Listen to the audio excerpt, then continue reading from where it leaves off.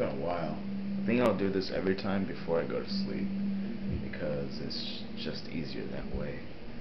Um, like for my first vlog, I guess it's the next new first vlog, whatever. Anyways, these are going to be uncut.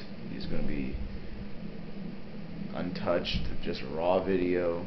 Try to make them quick, maybe like a minute or two.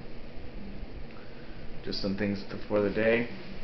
I don't know what I did, to be honest. I I don't know what I did, to be honest. I just worked out, mostly on calves and legs, and then I was walking for a whole day. So I did both cardio and muscle weight training on it. So it was completely dead, as in I could barely walk for the past two days. And now it's, I can feel it cramping on me. But not fully, you know, just kind of burnt, you know, whatever. It's, it's a weird feeling, I don't like it. I don't know what's wrong with my legs, but as long as it gets better by Monday. Uh, okay. What else?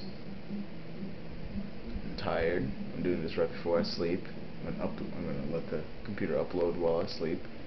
I don't care what happens, to be honest. Um, uh, that's just gonna be how it's gonna be for the next couple of days, for at least. I mean, there's no guarantee I'll keep this forever, just like I did with the other one.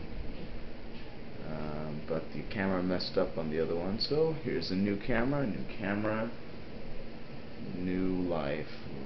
I don't even care anymore, to be honest. I'm too tired. Anyways, see y'all later.